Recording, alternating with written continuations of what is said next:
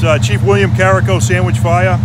Uh, we had a report of a building fire. Passerby said heavy smoke in the area.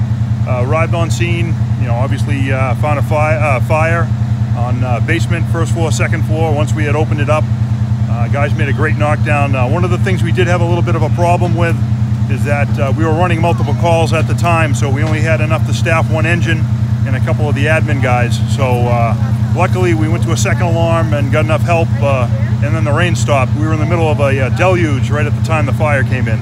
And it sounds like you were able to knock it down, the actual raging fire, pretty quickly. Yeah, we uh, went to a defensive attack, hit, the, hit it with lines from the exterior. Uh, once we had a pretty good knockdown, we uh, switched up, went interior, and uh, we have a little bit of structural damage on the first floor. Uh, so I'm a little cautious about sending guys in.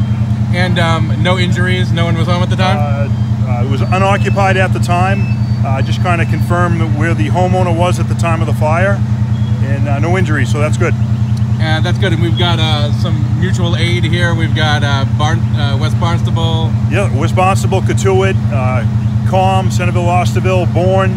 Um, so we have, uh, you know, our mutual aid partners are helping us out as we help them.